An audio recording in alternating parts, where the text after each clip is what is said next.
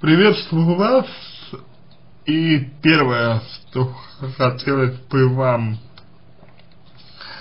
порекомендовать в вашем случае, это обязательное прохождение медицинского обследования на наличие заболеваний. Вот, потому что ну, все вот это вот, э, происходит, э, может явно говорить о наличии физиологических проблем у вас. Это первое. Это первое. Второе. Для э,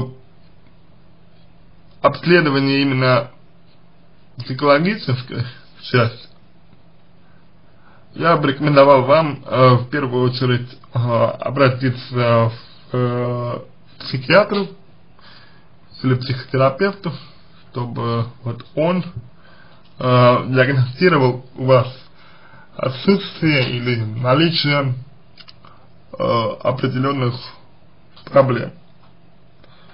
Если диагностирование э, выявит какие-то отклонения, с которыми может работать психиатр, то, соответственно, вам будет назначено лечение, в том числе и психологическая помощь, и в рамках вот этой вот психологической помощи уже вам можно будет работать с психологом.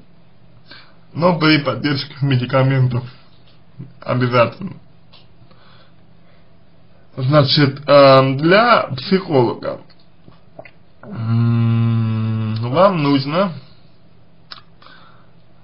значит, более подробно рассказать о своем детстве, о своей деятельности, о том, что случилось полгода назад, да, почему вот полгода назад у вас начались эти проблемы, именно полгода назад, что поменялось в вашей жизни.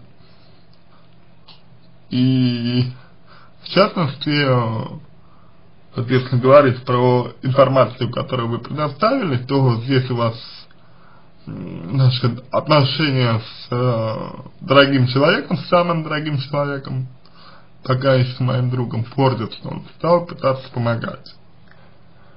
Во-первых, э, помогать в чем он устал пытаться? Почему он устал то есть, если человек помогает, он помогает ну, не во вред себе, он делает это потому что хочет. А у вас получается такая ситуация, что ваш близкий человек, он как будто бы, вот, вот вы знаете, как будто бы жертвует собой ради вас. Это все-таки не есть хорошо, это все-таки не есть что-то правильно, если мы с вами говорим в этом контексте уже. Вот, ну, в принципе, э, все, что вот можно вам порекомендовать на данном этапе, я бы, э, я, я, в принципе, порекомендовал. Скорее всего, вас, вот, если вы говорите, что истерики э, длиной в час и больше, это, это либо панические атаки, либо э, расстройство, либо невроз. А вот, но если невроз, то нужно исследовать причины, так же как и при, так же как и в случае панических атак. Все нужно разбирать с вами, э, изучать, смотреть, э, тогда будет, возможно, э, что-то будет порекомендовать. А пока этот выписк это всего, всего лишь следствие, а никак не причина. Обязательно, э, обязательно обследование у врача, медика хотя бы.